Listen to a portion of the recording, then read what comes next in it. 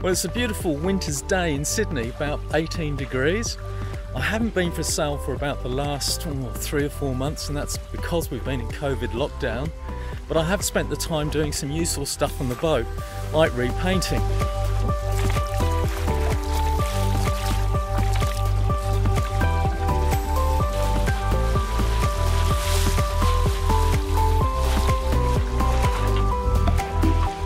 So I thought I'd share some tips with you about painting a boat if you've never done it before, because I hadn't and I've learnt quite a lot.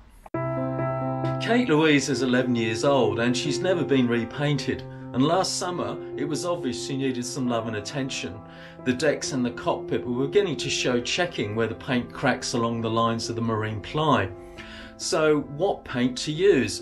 Now, marine paint is really expensive. There's no two ways about it. I could have gone a cheaper enamel paint, which is a one pot, but that would only last supposedly about three or four years.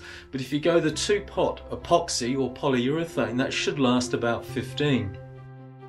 Chris Ellard, who's the son of Derek Ellard, the boat designer and builder in Queensland, he's built 12 boats himself from Sydney. He suggested I use an industrial paint called Jotun, which is Dutch. And industrial paints are a hell of a lot cheaper. Jotun's used for painting oil rigs and ships.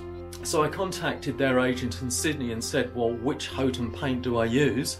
And he suggested a two-part epoxy base coat called Penguard, and then for the top coat, use a two-pot polyurethane called Ultra Hard Top. And that's exactly what I did. First off, double masking all the areas you want to protect, because it's very easy when you sand back to go through one layer of masking tape. I then started using 80 grit, 120 and then I think 180. Now last year you would probably noticed on the cabin roof there are bubbles and people said, what are the bubbles? Well, the previous owner had tungsten lights on the inside of the cabin. They'd got too hot and the heat had actually lifted the fiberglass coating on top of the roof. So the only way to fix that was to actually puncture the bubbles, fill it with epoxy and then sand it level and it, it looked fine. Also I noticed the boards on the roof of the cockpit were also had a bit of a camber so valleys were forming where the two boards joined and Chris suggested using two-part epoxy car body filler and that sanded off and looked really good as well. Then on to the painting. The two-part epoxy base coat went on really easily, it's quite thick.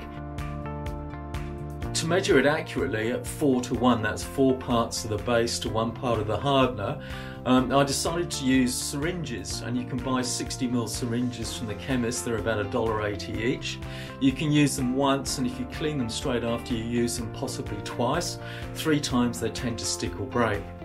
Uh, so that way I could accurately measure up about 200ml or what I needed for that day. So I started off doing the decks first. Secondly I did the cabin roof and then finally the cockpit.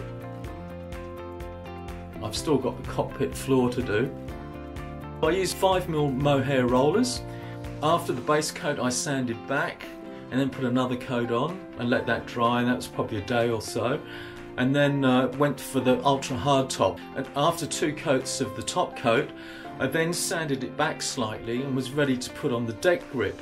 Now Chris gave me some Intergrain deck grip which is basically a filler you add to the paint. It's a very fine powder so it's, it's not too abrasive on your knees because it looks more professional if you've got a strip or board around the outside and that's what I did using masking tape. But remember to pull the masking tape off before the paint dries because you get a much crisper finish that way.